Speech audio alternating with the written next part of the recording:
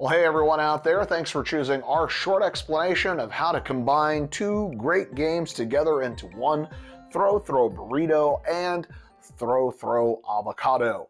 It's Chris here from JMNC Games, and like I said, today we're gonna mash these together and make it into one huge fun party game.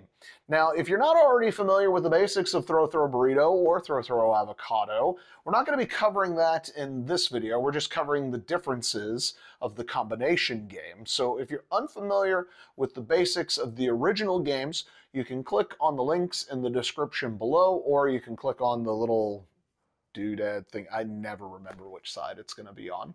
And that will take you to our uh, videos on how to play the original games. And like I said, today we're just going to show you what are the basics of how it works when you combine the two games together. Now, if you haven't already done so, please do take a moment to like and subscribe to our channel. We greatly do appreciate that, and it sure does help us grow. Now let's take a look at what we got to do to make things happen with this great combination game. First, you will need one of each of the games. From Throw Throw Burrito, you will need all of the items in the box. From Throw Throw Avocado, you will need the avocado boo-boos, the Fear Me badge, the avocados, and the extra packet of cards in the envelope.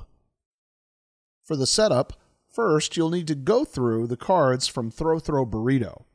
Remove all of the Burrito Battle cards. You can return them back to the box as they are not used in the combo game. Next, remove the cards from the envelope from Throw Throw Avocado. These are new types of battle cards. They need to be shuffled into the stack of cards. Place the two Fear Me badges in the center of the playing area. Place the bruises on the burrito and place the boo-boos on the avocado. Next, give each player approximately 15 cards. Players do not look at their cards yet. Take the remaining cards and divide them in half, and place on the sides of the Fear Me badges.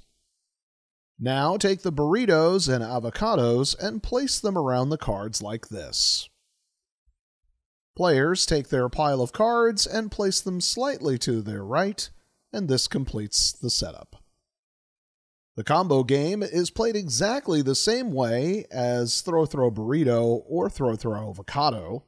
If you're unfamiliar on the basics, click on the link at the top right or one of the links in the description, which will take you to our other videos on how to play the original games.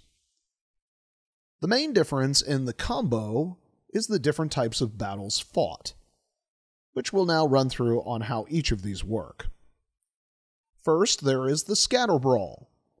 When you play three of these cards, you announce Scatter Brawl.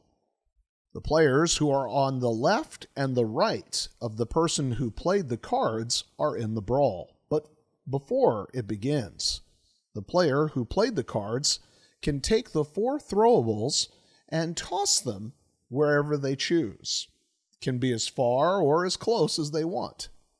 Once tossed, the player who played the cards says, Go! And the two players on the left and right go after them. The rules are otherwise the same for the brawl. The player who gets hit first by a throwable loses the battle and must take a bruise or boo boo from the center. Once complete, reset the table and continue the game. Next is the Burrito War or Avocado War.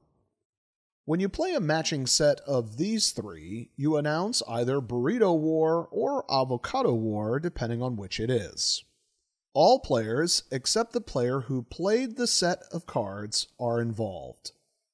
They must grab the correct throwable based on which type of war has been played. It's okay if they grab the wrong one, but if they throw the wrong one, then the war is immediately over. The player who threw the wrong item takes the boo boo or the bruise. During the war, the first player to be hit by a throwable is the loser and must take the boo boo or bruise.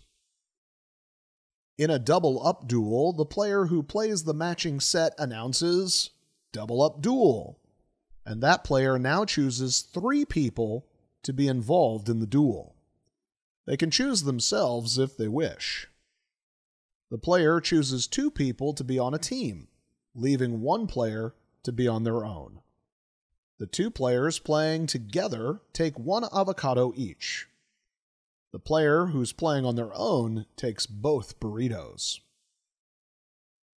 The two players get back to back with the solo player, and just like in regular games, the duel starts the same way. Only in this version, the two people who are playing together are allowed to only have one throwable in their hand at a time. The person who is playing on their own has no limit to how many throwables they can carry. If the single player gets hit, they take one bruise or boo boo.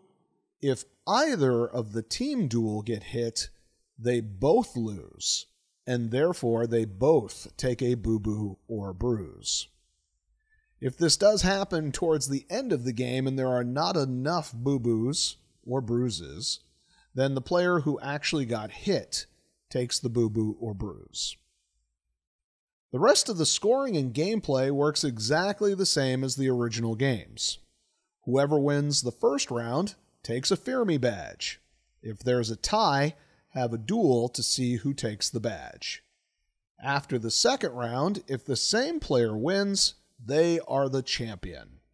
If a different player wins, then you have a duel between round one and round two to see who is the champion. And so that's how you combined Throw Throw Burrito and Throw Throw Avocado together into one to make a great combination party game. Thanks for joining us today. If you got any questions on how uh, the game works, you can always uh, drop those questions down in the comment below, and I'll be sure to answer those as quick as I can.